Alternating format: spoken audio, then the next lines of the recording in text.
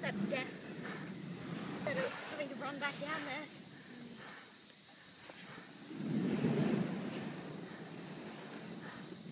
Water break.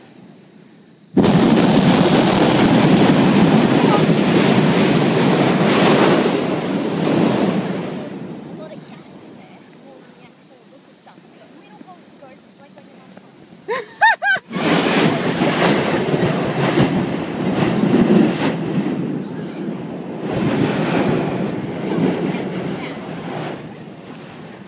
That's why I, I'm so loud because I'm full of gas.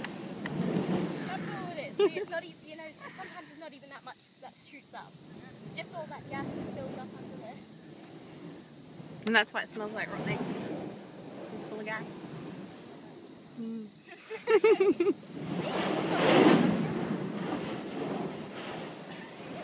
I'm really proud of you, Josh, What? for coming back up even though you were scared.